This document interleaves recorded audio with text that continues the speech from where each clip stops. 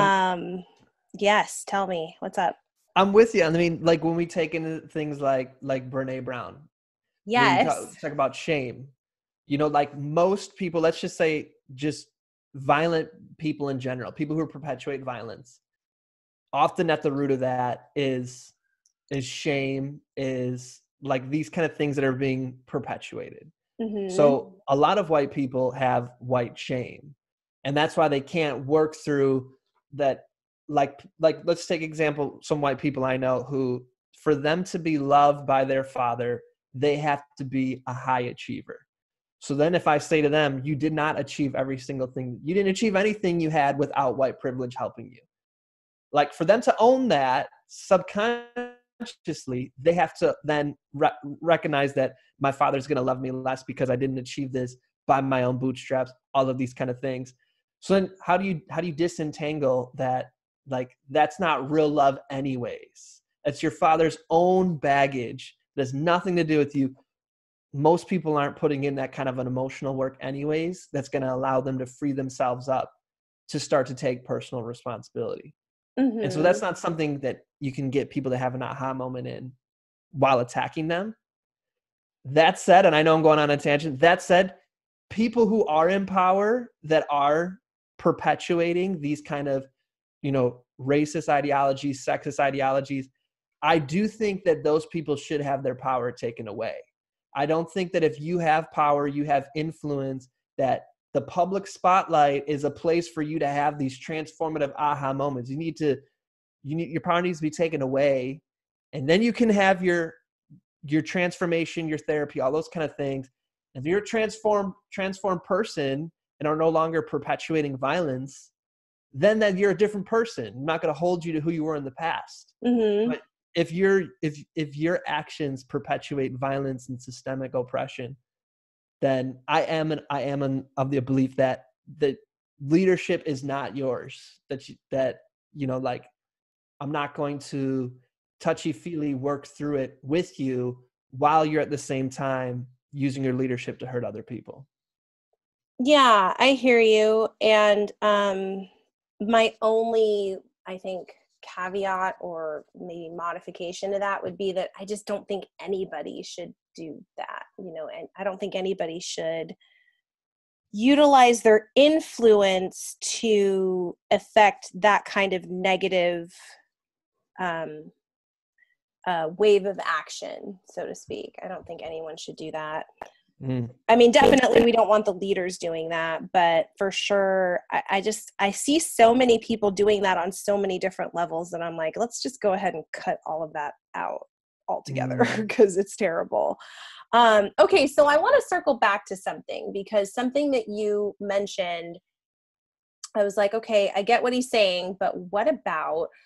So you were talking about like white supremacy, well, not white supremacy, but white privilege and how you know if someone feels that they are not worthy of like love or attention or acknowledgement because they haven't achieved then you know that's the way it is. Like their dad's not going to care about them if they haven't achieved a bunch of stuff. So what i'm wondering is what if in that scenario instead of the father being like okay you didn't actually achieve this stuff on your own like by pulling yourself up by your own bootstraps you achieved it because of your white privilege.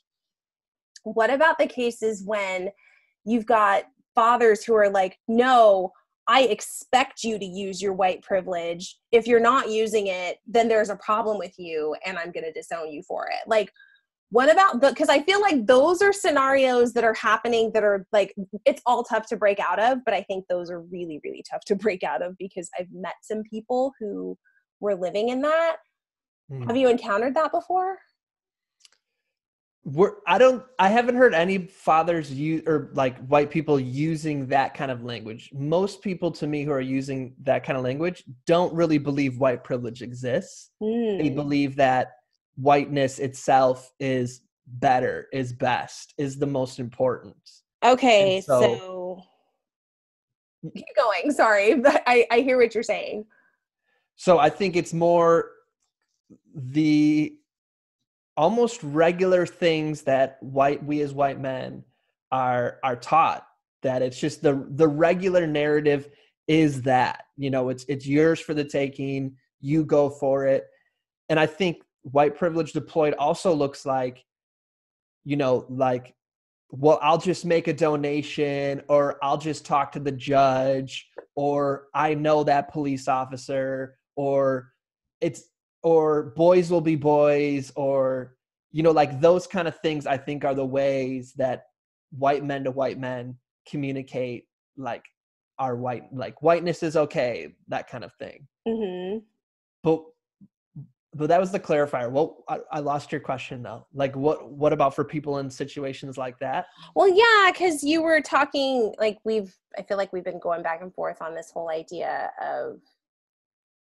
privilege, and you know, once you are conscientious of what your priv- privilege holds, and you know how it kind of makes things easier for you, how you can sort of take some actions to make sure that you're stepping either stepping outside of that or making sure that other people get to have access to the same opportunities so that you know you can kind of balance the playing field a little bit. But i think that there are a lot of people what i was saying to you when i asked my question is i think there's a lot of people that actually get indoctrinated into the idea that no we have this privilege and we're going to use it. We Mm. love it and we're going to use it to the fullest and this is good for us you know? And i mean again i i'd like to think that i wouldn't be so ruthless but at the same time i can't promise that i wouldn't be if i had access to that kind of power or, or opportunity. Um, and i'm just saying that as as somebody who's trying to be an honest human uh, after living as a black woman of course I, I feel differently about that. But if i was just placed into a situation where i had privilege right off the bat i would probably want to live it up and just be happy. Um you know and that's that's kind of the point is that like you don't want to be inconvenienced or the what i saw a quote that said something about like your degree to which the degree to which you don't want to be made uncomfortable that is your privilege. Mm. i hear footsteps again. I knew it. Yes? Hi what's up it's later mom. Okay yeah it is later. Oh my god you said later. And it's later. We did exactly what you said. Oh he's gone. Okay. He's he's my independent one. Like he'll he's he'll just come and tell me what he's doing. And I, hi. She, she waits for him. Once he does it then she's in huh? Yeah it's can you like tell their personalities like just based on what you're seeing right here? Because she's like the really boisterous one and he's like the chillax one. I was actually surprised when it was him when he opened the door. Yeah. Parenthood. That's fun. I, you know, on on what you're saying, that we, I, I don't know all your, I well, like our, for example, um, and you can tell me if you don't want to answer.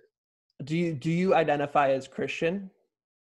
no Do you identify as like Jewish or Muslim or Sikh? no So so then you more or less have some form of like within the religion category privilege. But I don't see you like if you see a Muslim woman being like, "Let's get her." You know what I'm saying? yeah um yeah um yeah I, I would say that as far as my beliefs are concerned they probably would align closer to christian than they would to um islam or judaism like eh, probably more, more christian. But as far as like practice and stuff like no i don't really do that. I'm not in the practice of i haven't attended church in a very long time But I'm I'm just pointing out that like, and I'm sure if we went through like more personal ones, we were say like sexual orientation or income status or Mhm, are you a U.S. citizen? Like that there mhm. are areas that we would highlight that's like okay in this area you do have privilege are you when you go for a job or are voting or trying to market something being like using that to your advantage by putting down someone else or you know when or when you hear someone say something islamophobic or against people who are homeless do you do you speak up I, from what I can tell, you're probably the kind of person who who says something. oh, it, is that what you think?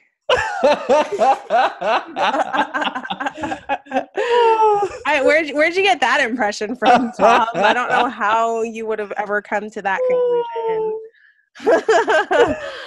uh, you know what's funny is um, I don't know. You you told me that you were like kind of getting into punk rock around the time that you were in college, and so I was kind of trying to guess like what time frame that was.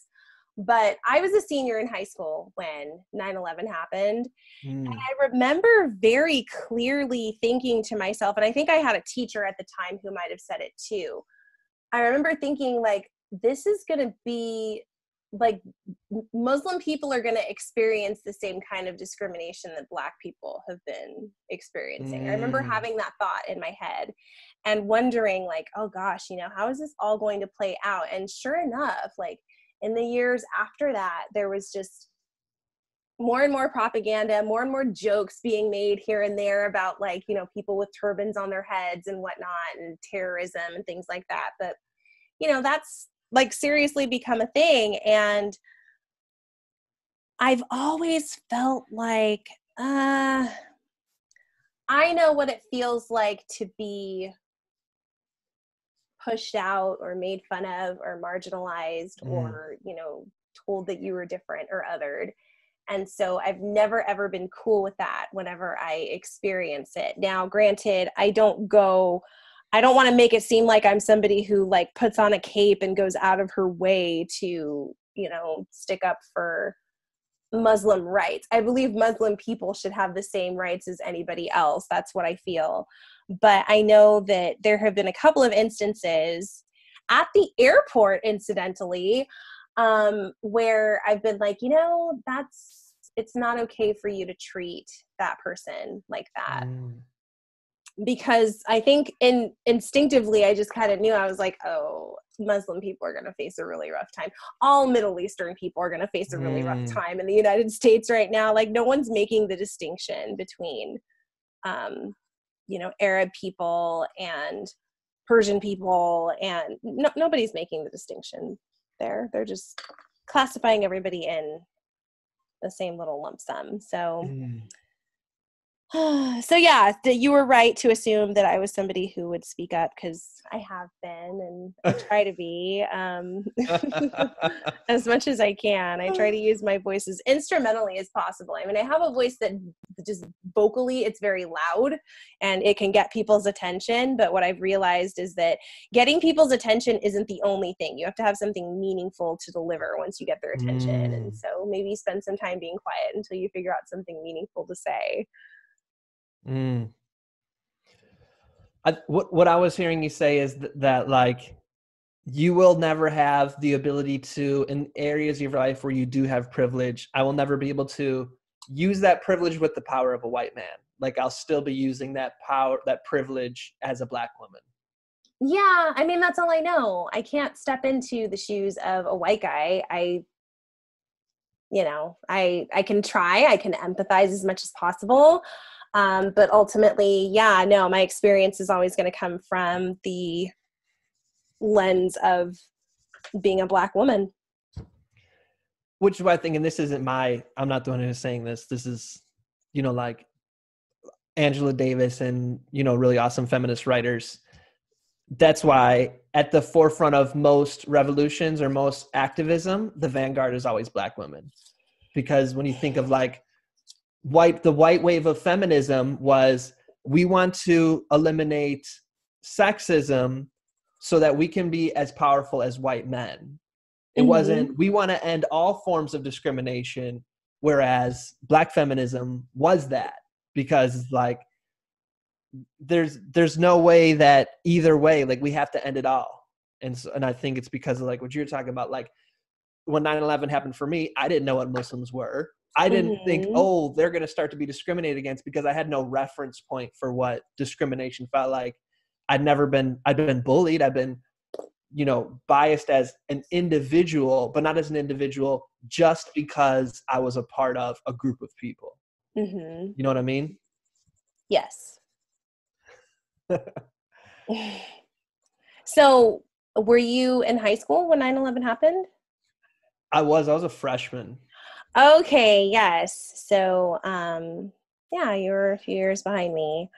But um, I would really love to get up to New York and visit that memorial because um, Mm. my English teacher, so my senior year in high school, my English teacher, she was actually pregnant, but she had a cousin who was on the Flo- or Florida, the New York Fire Department. Um, he worked for one of the stations out there and he ended up going missing after 9-11 and they never yeah they never found him Oh my god. so she took off to go to his memorial service during our senior year. It was really eventful because she went to that and then she came back and she must have only been there for like maybe two more months because I remember right before we went out for Christmas, she brought her newborn baby back and we got to meet him and we had a different teacher for the remainder of the year. But Mm. anyway, all that aside, um, yeah, so it just it 9/11 affected me in such a crazy like I say it's crazy because I wasn't there. I'm not from New York. I've never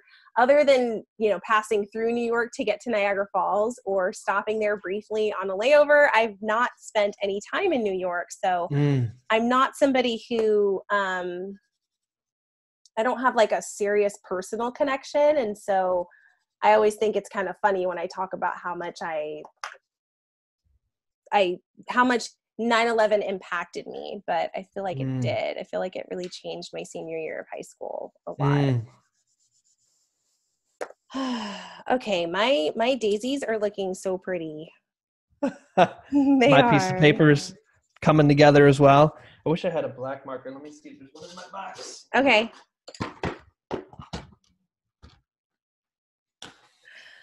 Okay, so we're almost out of time, and I'm thinking that there's probably more questions that I should ask you. So, Well, you wanted to talk about Adora. sure, yeah. Since you volunteered, let's hear about your wife.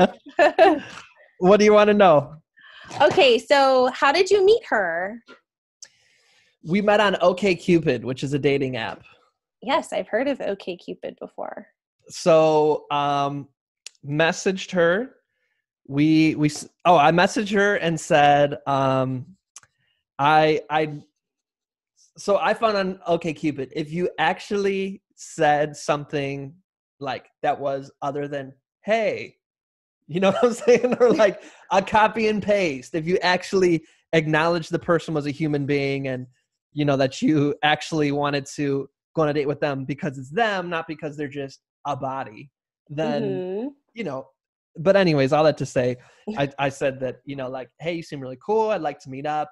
I do recognize that, uh, though I'm outside of the age range of what you're looking to date, but you know, I I still suggest you, you give me a shot.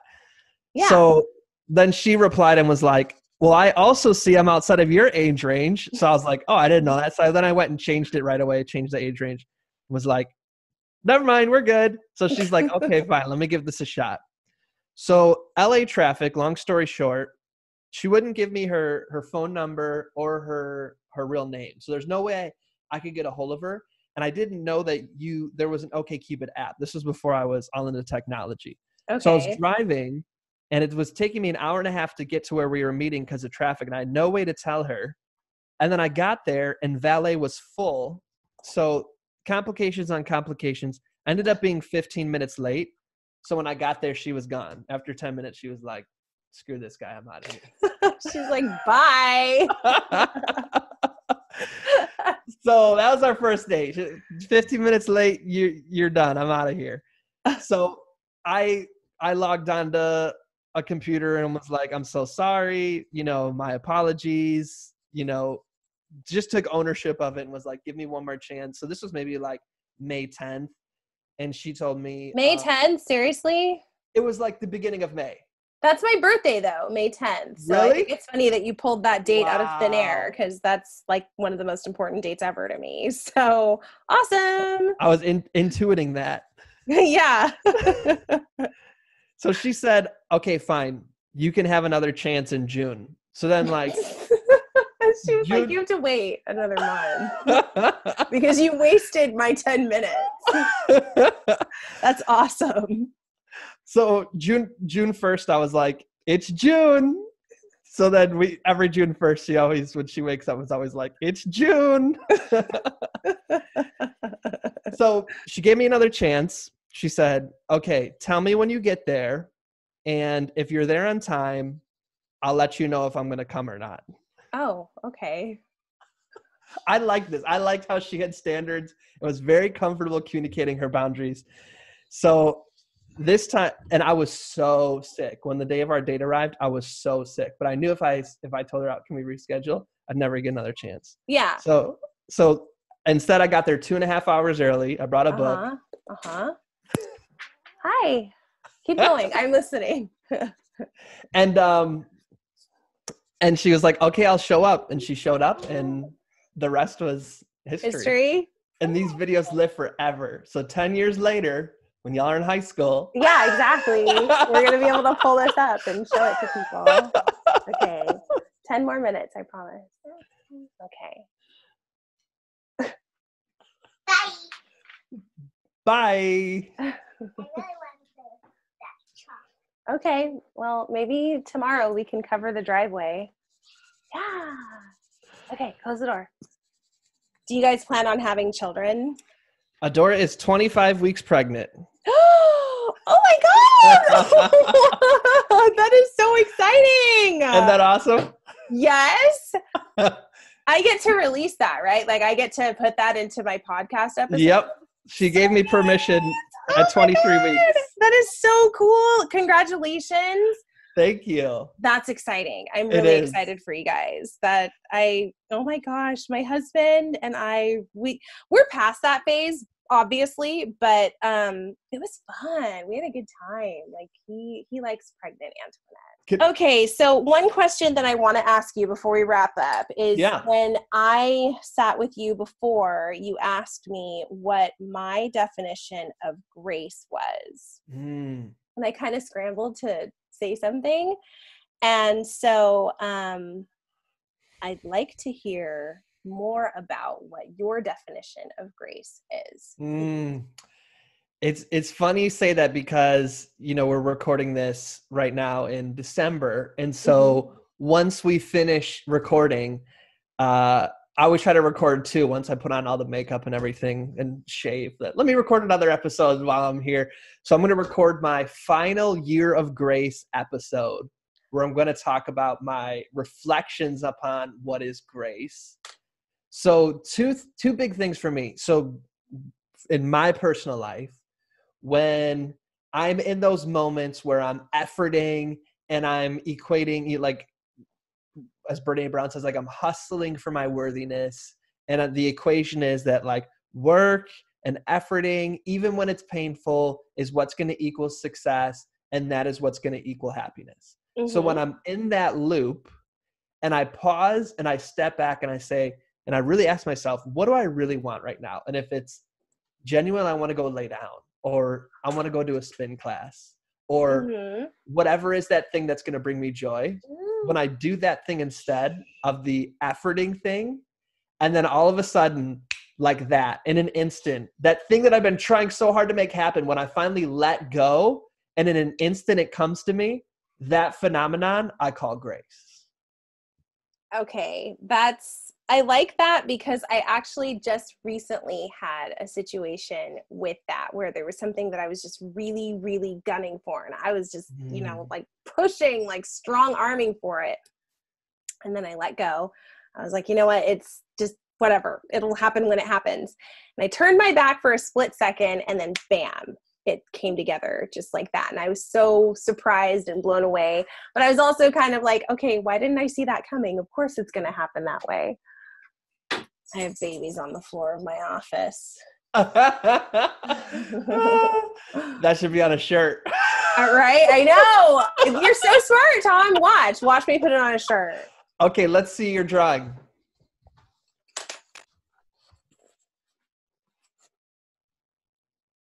I like it. Yes. We have You see it? very similar colors. Yeah, we do. That's amazing. I used all my favorite colors on this, so I'm happy with it. That's awesome. Let's All let's hold it up for two seconds and we'll take a screenshot and, and post edit. Okay. Tom, thank you so much for agreeing to color with me. I had a good time talking with you. And I did not. It was terrible. Okay, you know what? I, I tried something new and look at what it got me. no, I did too. It was super amazing. I love you were totally right that you get very laid back. There's things, you know, that I that I shared and got a chance to talk about in here that I haven't before. And, you know, for for three years I ran a, a nonprofit where I I did creative arts with kids to process their emotions. And so I haven't really got a chance to do this in a while. So I appreciate getting a chance to get back into the coloring game. So it's an honor. Thank you so much as as well. Yes, definitely. So um, be sure to check out the podcast for more coloring episodes because I'm planning to upload some more because this is very relaxing. I feel I feel good after doing all of this and having a chance to talk. for folks who are listening to Antoinette's podcast, if you want to connect, you can get in touch with me at Tom Earl, E A R L artist, at Tom Earl artist, or tomearl.com, E A R L. And what's your social for folks listening to the replay on my episode? Yes. And so if you're looking for me, you can find me at the Midday Reset on Instagram. Also, same thing for Facebook at the Midday Reset. And we have a brand new shiny website that you can check out at middayreset.com. Boom.